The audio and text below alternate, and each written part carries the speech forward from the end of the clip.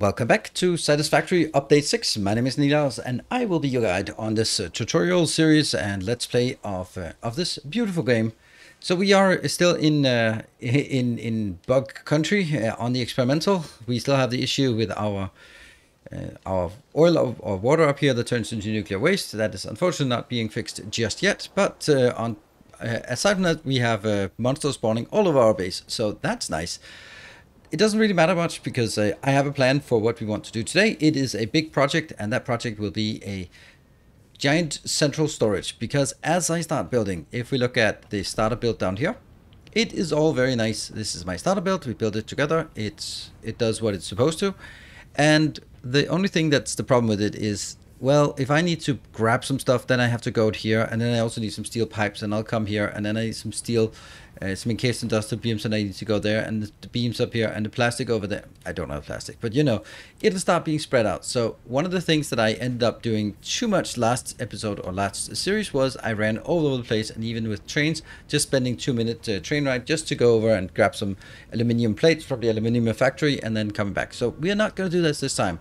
What I want to do is I want to grab all of this stuff and all of the stuff in this tower and the new encased industrial beam that we have here a small little extra build. It's nothing particularly interesting. It takes the beams, uh, the pipes and some concrete in and then make some encased industrial beams that we definitely want.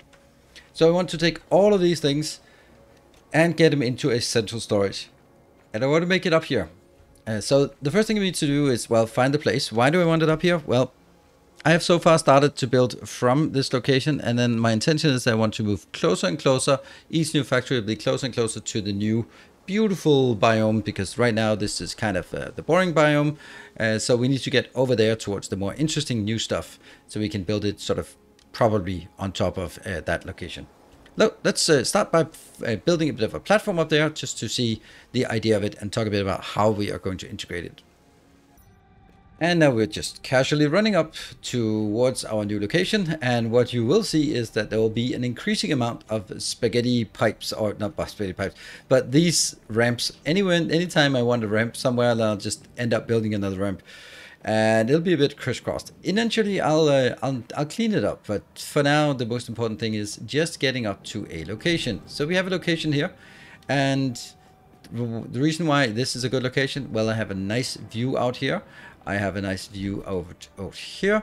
Eventually, I want to make some uh, some hy uh, hypertube cannons so that I can, for example, hey, I need to go this way, then hypertube my way that way, or this way, or any of the other paths. I think that's a great idea to sort of have something, and therefore it needs to be pretty high up. Uh, this is a good location, so we are also getting here. So let's talk a bit about how my intention is. I don't want to have any local storage at any production facility. I will be uh, removing all the boxes I have once I move things up here. And then I start designing some ideas for what I want to do. And I think this is the uh, this is what I'm going to work with. I will have two items in, one, two, and they will just be built here. And then I will have a lot of these uh, hyper tubes going out and the reason, the idea is that I will, I'll take the lower levels and just be the boring stuff from the starter hub. And then the other things will sort of be plastics and heavy industrial, uh, heavy modular frames and more interesting stuff. And then I want to be able to say, hey, if I have a plastic factory and I want to go there, then I want to be able to jump into this hypertube and be taken to the plastic factory, wherever that's going to be. And I think that's a really cool idea for a future base. That's why I've made so many exits because I want this to be both a storage hub where we can get resources, but also a distribution hub where we can go to go to head to any of the locations because we're going to be having uh, long distances uh, between our things. So let's uh, use the hypertubes. So all of those have to be incorporated into the design in the beginning. Uh, the idea is also that I want to, at each location, make sure that when I get something inbound, and let's see, uh, I will be going... Okay. This will be an input. Can I... Smart splitter. So that's a smart splitter. And I can't make enough smart splitters. There. So the idea is the smart splitter comes in here and Then I will have some inputs here. I'll get everything from the bottom getting in. And it'll be merging in the other one. Next one will be... Will it be here? Or it will be here? I think it'll be here. Yes. That one. So that means stuff comes in and goes in here and gets put into a box. But then it'll... Yeah, these are still broken. Center is going to be any and left and right will be overflow. Only be one. I will then take overflow from here and get back into a transport lane at this point. Uh, that I'll then need to build. That will be right there. Yes. And right here. Okay. So that means out of this, that'll be overflow. Whatever comes in here goes in. Main goes into my box. Once the box is full, the overflow goes back out to this belt, or this merging line, into the next one. I'll do the same thing for the one up here. And this line will then be fed into an awesome shop, an awesome sink. And then I'll have an awesome sink on either side of these locations and basically have all the factories produce and send it in here and then excess will be pulled out and thrown into sinks. I think that's a good idea and of course it will just be having the, uh, the highest production always. And then if we sort of at some point say we don't want to put screws or uh, wires or something like that on our our trash belts or our awesome sink belts, then we'll sort that. So I need to build this for all of them. And I need to expand a bit. I need to go up here. I need to build an awesome sink. There's a lot of things we need to do. So let's uh, try and do that and see how it, uh, it looks once we build it a bit better here. Alright, it's starting to look like something. I have integrated my two awesome sinks here. It is deliberate that they are not, uh, well, obviously, if I could mirror them, I would mirror them, but you can't. And I thought this looked better with having sort of the towers closer to my opening. So we go in through the opening. We will have awesome uh, sinks on either side. We will have on the back side, this will go in where we are not supposed to go. But all of this is now set up so that we can get stuff up here. If it comes in, it'll be automatically sent out here and sent it into an awesome sink. Then I have also started working on this part. Uh, it also looks good. This will be a special one for trash so that when I come back and I just have stuff in my inventory, I just throw it out here. That will be brought out and sent into the awesome sink. If it was powered, of course. So basically, it's nice to have a, a place where anything you don't want to have if you brought too much of something like okay I just need some space and I don't need this one so throw it out. Then I've marked what I want in each one. Iron plates rods screws wire cable and sheets. On the other side I will have um, concrete reinforced iron plates rotors and modular frames. All those are coming in then on top, well, we have the more advanced builds. That will be the uh, steel pipes, steel beams, and encased industrial beams. So all of this needs to be coming in here before we sort of are fully ready. My intention is also with this one is that I want to go up on the roof and then have my hub moved out here together with some small buildings and some uh, cannons to go out. So you can see things are slowly progressing. We have our first of these. Whoosh. It goes in down here to an engineering floor and then we can see all the way down. And this is um, this is pretty far down if we uh, if we just have a look at it. And that's going to be pretty tricky because our biggest challenge with this is how do we get stuff inbound? I now have stuff all the way over here and I need to bring it here, here, and then somehow bring it up. And if I look at this part, it's just mm, pretty miserable to uh, to be honest. Really, really difficult to work at this point. And I also need to bring it all the way back. And I don't know why I decided that this was a good place to jump off. But it was, I guess, it was a good place to jump off. We're just going to have a look at how I want to bring stuff out. Because I think that is going to be a nice little setup we can do here. That one. And jump over here. And then we can just go a jump here. There, we've started making the design for how I want to bring things out of this location. So there's a number of things we want to clean up here. There. I will have six main items. Oh, you can hear the respawning enemies down below. They will respawn as soon as you load the game. So, boo um, I have all my items that I'm producing. I'll just put them up on belts. On six belts for the basic items, three for iron parts, three for copper parts. And then we'll have the concrete over here. After the concrete, we'll have reinforced iron, no, rotors, reinforced iron frames. And lastly, over here, we built a little extra build. Let me go up here, up. Uh, because I was really tired of not having enough modular frames, because you need modular frames for quite a few things. And that goes up here. Here is our modular frame build. It's nothing, there's nothing super exotic about it. I just leech off some of the reinforced iron plates. Uh, then we bring that here. Brings, may bring in some iron rods, and then we process it. So those will all need to be out here on some belts. And as you can imagine, yep, that's going to be a long and arduous journey to bring it over here. I will have six on the top, those are the basic ones, and then four at the bottom. That will be stuff here. I'm not going to bring the other ones in, uh, the steel parts in yet. But let's uh, let's bring it in and uh, then get ready to hook it all up. The first thing you may notice is a change of color. We have now uh, got a new color. It's the beautiful purple with a bit of golden highlight. Uh, don't know why I wanted to bring this out. So what we also have is nice long lines. They are all the way over and I will show you something beautiful how it's working. It's even to the point where I have a setup here with a hypertube that we will be riding that hypertube once we've hooked everything up. This is like the most glorious part is hooking all this up. So that we want to go here.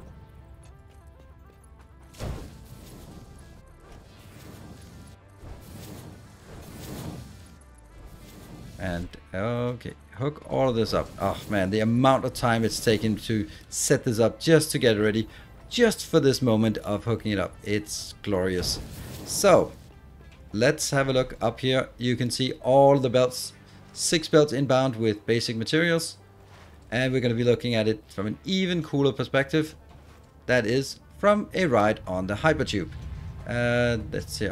We'll need to do some cleanup back here as well. So let's ride the Hypertube because of course, you're going to need a hypertube going all the way.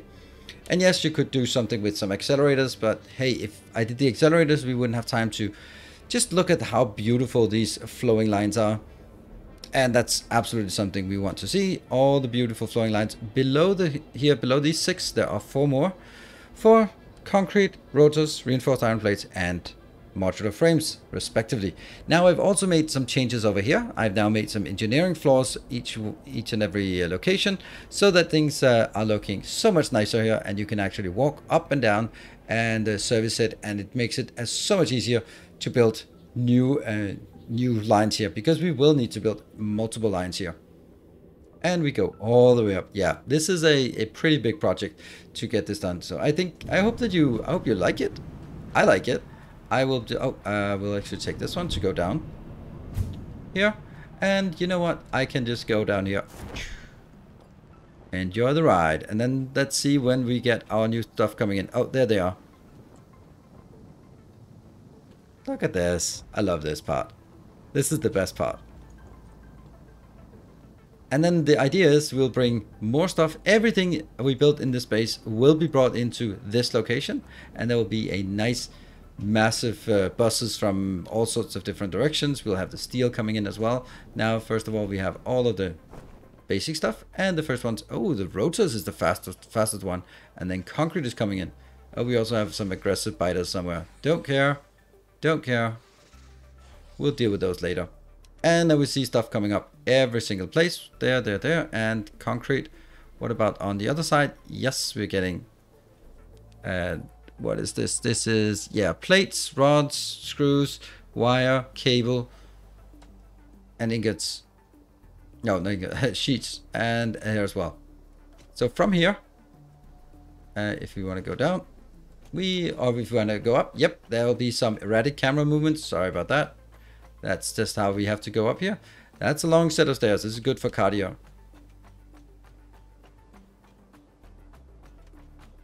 And basically at each of these locations, I built some holes through it, so it looks nice. See over here as well, and it just flows up at a really, really nice uh, pace. Going all the way up, and we're up. And from here we take another little tube up, and we now have everything coming in. Let's have a look. Yep, the first bits of screws, the first here. That means from now on, if I want something, I can just go in here and grab it. Of course, it's going to take a bit of time to let it flow in here, but you know, in an hour's time, everything will be set up. So what do we need to do from here? Well, we need to, uh, we built some glass roof as well. We can go up here, go up top. We have now moved our hub up here and we have our little workshop area in the back. Uh, from here, we can also have some storage. Then my intention is that we will eventually sort of behind here or something else, somewhere else, build like hypertubes pointing in various directions so we can sort of go, okay, I want to go to the, to the awful monochromatic swamp area, to the Titan forest, uh, to the northern forest, to maybe even get all the way up there to, uh, what is that? That's the green, no, the, the red forest. That's all the stuff we need, all the boring area over here. So all of those things will be accessible because we now are way up top, so we can we can get access to it. And what happens once all of these fills up is that just they will start flowing into my uh, my awesome sinks. And uh, so from here on, there'll be a lot of cleanup in in terms of uh, what we want to do. We'll have to replace or remove all of the awesome sink down there, all the local storage once they're empty.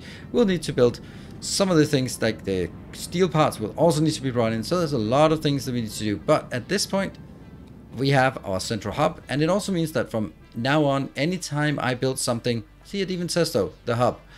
Uh, if every time I build a new factory, it is the factory is not done until things are brought in here and they have their own place and they have their own hypertube going back to the factory so that I can easy access it. Uh, and then as uh, you can see here, that's very open because the intention is that I'll keep expanding it out here as necessary. And I'll probably need to expand it to maybe twice the size, but no more than that. I didn't bother doing it because honestly, this part without copy paste is pretty damn miserable pretty damn miserable to do that. Good thing I had good company during my live stream to keep me uh, entertained while I was working on this. Uh, if you have some ideas about sort of additions and changes to the hub, maybe lights down the middle when we get those, kind of constrained on uh, on on tickets at this point, or how to integrate the opening. I don't really know how to integrate the opening. We'll eventually we won't really need the opening because there's nothing out here anyway. Maybe this will actually be where I put the hypertube area that would actually be a good idea, except if I want to go the other way. But that might actually be a good idea. So it's not on the roof, but actually out here instead. Otherwise, there's no point with having a main entrance because every every way we'll get in will be from hypertubes. So that is pretty damn quick. So I hope you uh, like this little showcase of the central hub. I mean, there's a lot of building, and I just did. I just wanted to skip all the building part because you know it it's been taking like six hours to get so far, and that doesn't really consist or to work very well as a YouTube episode, but I wanted to show you for inspiration how it works and uh, how it actually uh, ties together. Uh, I could also make some pillars in the corners. There's lots of things that we can do as we get more tickets unlocked and get more things out uh, out in the wild. So with that, thank you very much for watching. I hope you enjoyed it. If you are, be sure to hit the like button. That helps a lot with the visibility of these uh, these kind of videos. Also, of course, if you're not subscribed to the channel, please consider subscribing uh, so you can keep up to date with all the factory, factory content, not factory, factory content on my channel. And of course, if you want to join in for live streams, I'm streaming most evenings at 8 p.m. Central European time over on Twitch TV slash Nilaus. And if you want to go all in, I do have a Patreon and I really appreciate the people who are supporting the, the stream monetarily in that regard. Thank you very much for watching. Until next time, take care. And as always, stay effective.